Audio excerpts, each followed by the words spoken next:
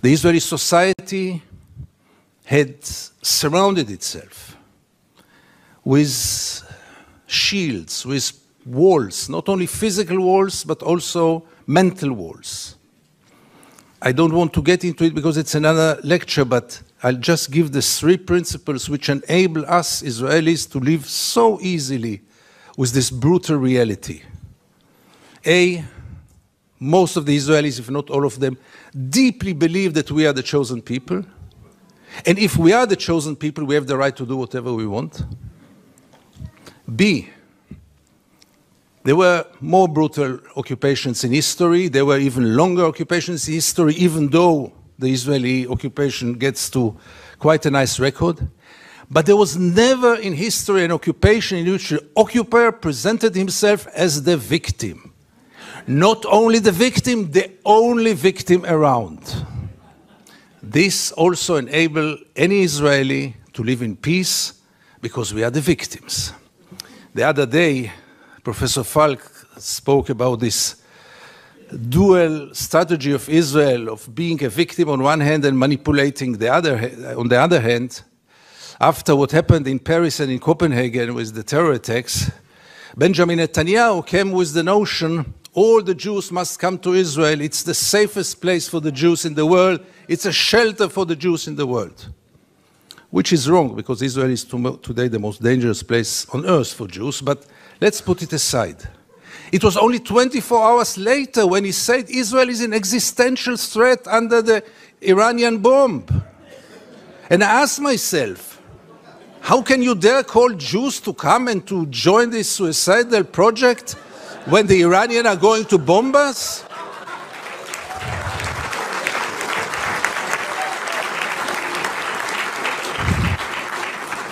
But in Israel, every, everything goes, and both declarations were accepted as, as the only truth. And here I get to the third set of values which enable us Israelis to live in peace with the occupation.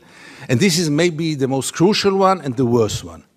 We say victimization, we say chosen people. When I say victimization, it goes without saying we have to mention the Holocaust and the unforgettable Mrs. Golda Meir that the American Jewry had exported to Israel. She said once, this unforgettable woman, that after the Holocaust, the Jews have the right to do whatever they want. But the third set of values is the most dangerous one, and this is the systematic dehumanization of the Palestinians, which enable us, Israelis, to live in peace with everything. Because if they are not human beings like us, then there is not really a question of human rights. And if you scratch under the skin of almost every Israeli, you will find it there. Almost no one will treat the Palestinians as equal human beings like us. I once wrote that uh, we treat the Palestinians like animals, and I got so many protest letters from animal rights organizations rightly so. But by the end of the day, how many Israelis did ever try for a moment to put themselves in the place of the Palestinians for a moment, for one day? And I want to give you two examples which will demonstrate it. Many years ago, I interviewed then candidate for prime minister Ehud Barak. And I asked him a question which I try to ask in any occasion.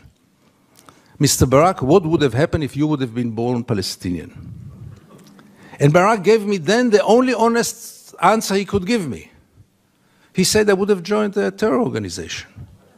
What else would have he done? Would he become a poet? He doesn't know to write poems. Would he become a pianist? He's quite a bad pianist, and I doubt if he would have become a collaborator because he is a fighter.